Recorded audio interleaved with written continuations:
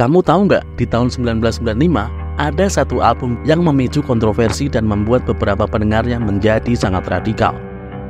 Jadi di tahun 1995, Art Crisis merilis album baru berjudul Destroy the Machine. Nah, materi di album ini tuh isinya kebanyakan berfokus pada pesan dan seruan tentang gaya hidup straight edge, veganisme, dan hak-hak hewan. Sebelum merilis album ini pun, Art Crisis sebenarnya memang sudah dikenal sebagai unit hardcore straight edge yang militan. Namun, ketika mereka merilis album ini, mereka mengambil langkah dan sudut pandang yang lebih jauh dan lebih militan. Proses rekaman berlangsung di antara debat panas dan diskusi tentang isu-isu seperti veganisme, dan kesadaran lingkungan yang akhirnya ditumpahkan ke dalam lirik dengan wujud musik hardcore yang beringas. Lewat album ini, Earth Crisis tidak hanya memperkenalkan hardcore yang lebih berat dan lebih agresif, tetapi juga sangat mempengaruhi gerakan straight edge dan vegan yang lebih militan di dalam skena hardcore.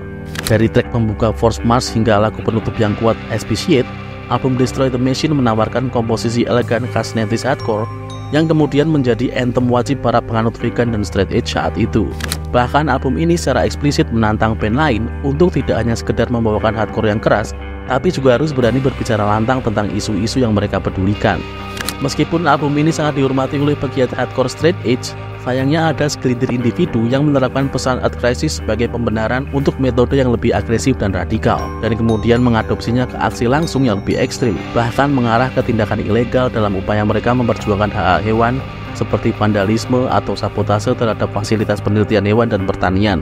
Dan sialnya, media justru sering kali mengangkat aspek paling radikal dari gerakan ini yang kemudian mengarahkan album Earth Crisis ini ke perspektif negatif. Padahal jika ditelaah lebih jernih, album ini adalah album straight edge hardcore paling cerdas yang mengangkat isu-isu yang mereka suarakan dengan lebih relevan loh.